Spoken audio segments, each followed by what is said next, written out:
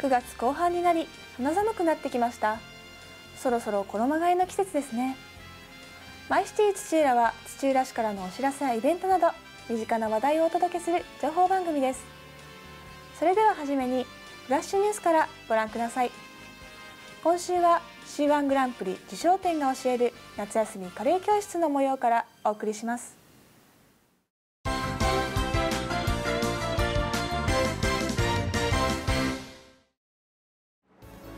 8月21日月曜日市内中村南にある山中地区公民館で C1 グランプリ受賞店が教える夏休みカレー教室が開かれました。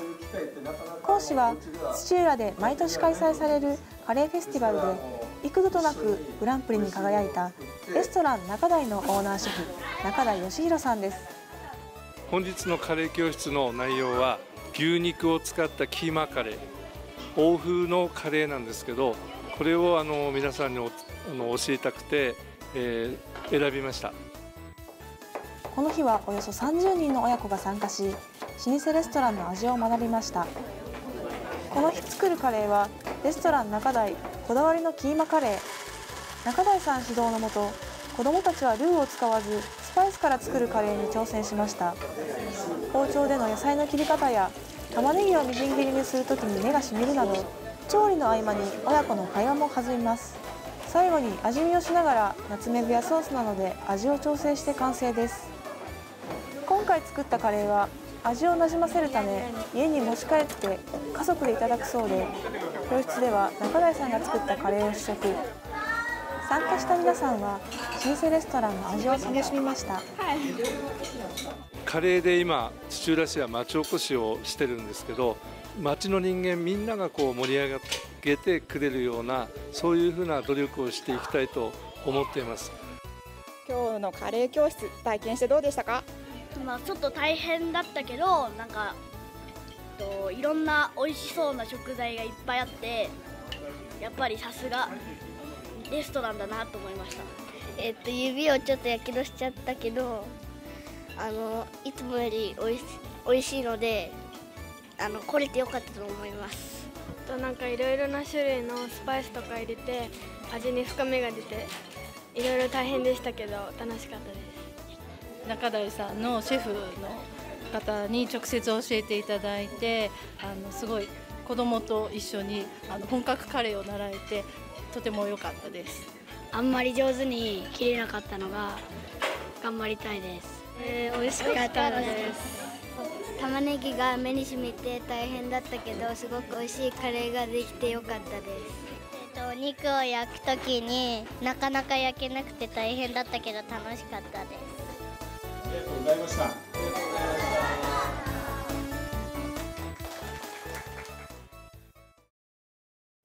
続いて土ほとのコーナーです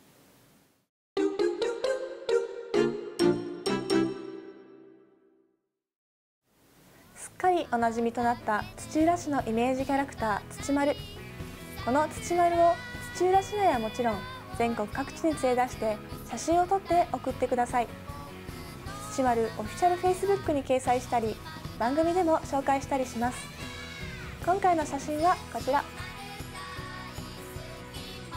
ISO.F さんからの土元です。土浦市の自宅で撮影したそうです。自宅のベランダで今年2度目の開花です。というコメントをいただきました。ISO.F さん投稿ありがとうございます。応募方法など詳しくは番組の後半でお知らせします。続いてはお知らせマイシティのコーナーです。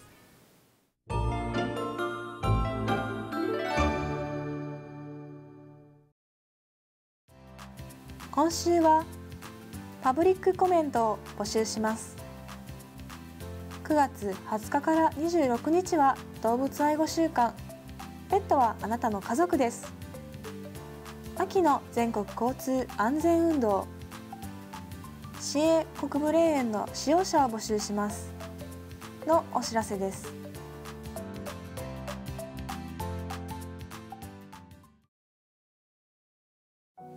はじめに環境衛生課及び消防本部予防課より条例に関するパブリックコメント募集のお知らせです。募集する案件は土浦市ペット霊園の設置許可等に関する条例仮称の制定についておよび土浦市火災予防条例の一部改正案についてです。公表方法は各担当課各支所出張所や各地区公民館での閲覧及び市のホームページへの掲載となります。意見を提出できるのは市内に居住または通勤通学している方及び市内に事務所などがある個人や法人団体の方です。提出方法は住所氏名電話番号を記入し郵送またはファックスかメールもしくは直接お持ちください。詳しくは環境衛生課消防本部予防課までお問い合わせください。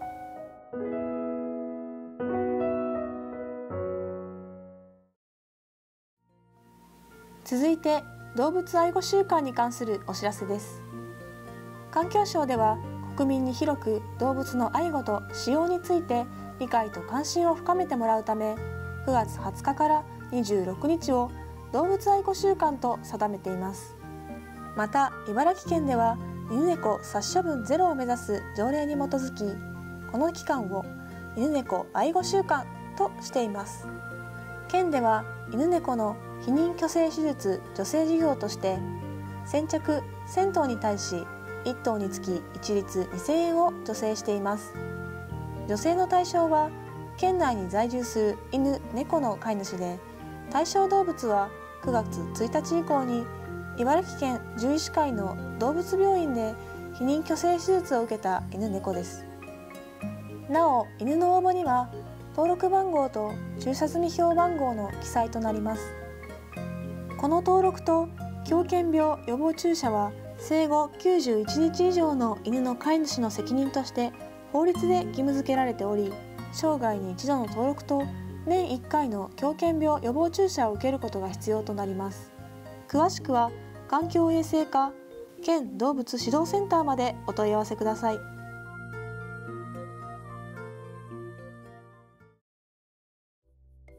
次は秋の全国交通安全運動のお知らせです。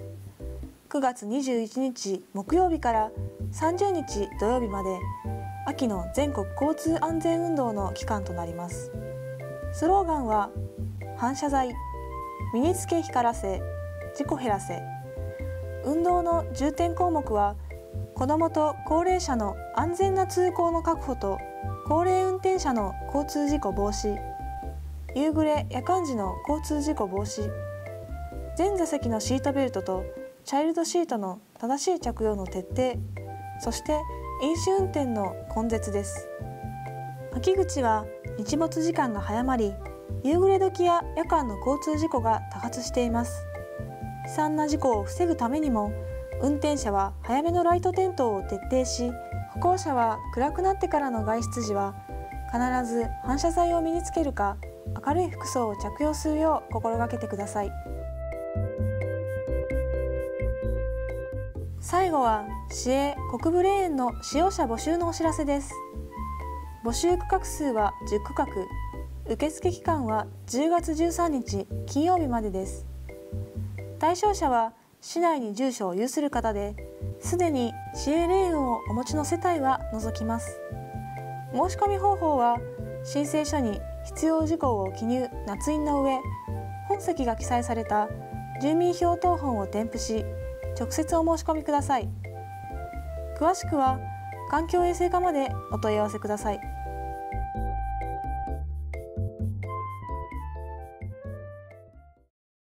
毎週土丸の写真を紹介するコーナー土フォト。今回紹介した写真はこちらの1枚。それでは応募方法をご紹介しましょう。土丸グッズと一緒にお気に入りの場所で撮影した写真をメールで送ってください。その際撮影した場所一言コメントお名前も忘れずに記載してください。なおお名前はイニシャルやペンネームでも OK です。ただし内容によっては掲載及び放送できない場合がありますのであらかじめご了承ください。皆さんのご応募お待ちしています。続いては土丸を探せです。どこにいるかわかりますか？答えはこちら。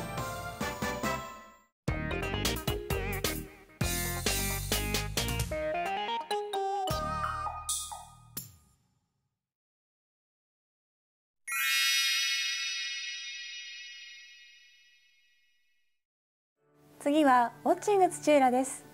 今週は真鍋の祭りとして知られる鹿島神社例大祭の模様をお送りします。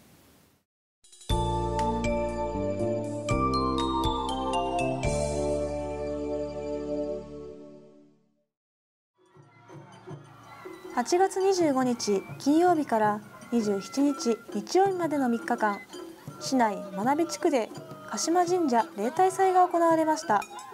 この例大祭は真鍋の祭りとして古くから知られ真鍋地区9つの町会から出汁や獅子屋台が出陣。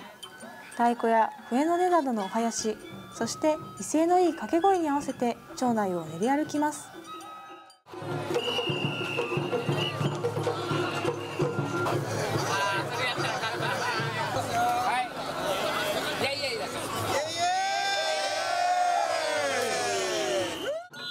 最終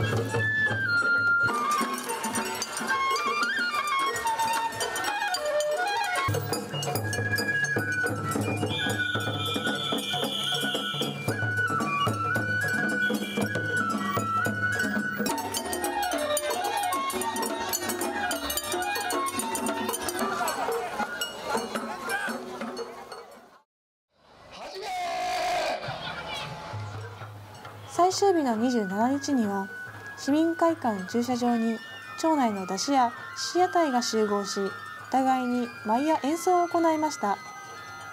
そして全町会で盛大な共演が行われると集まった観衆も盛り上がりを見せ盛大なフィナーレで今年の真鍋の祭りも幕を閉じました。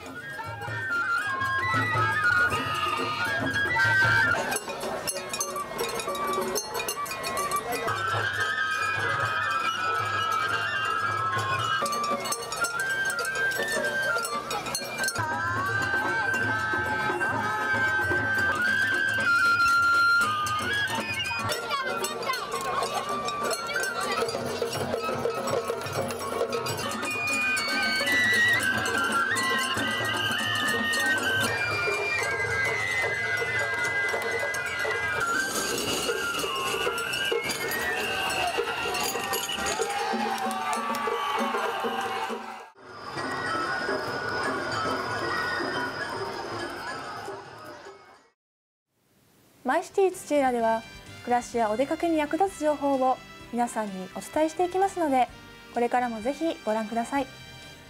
今週は学生アナウンサー江端がお送りしました。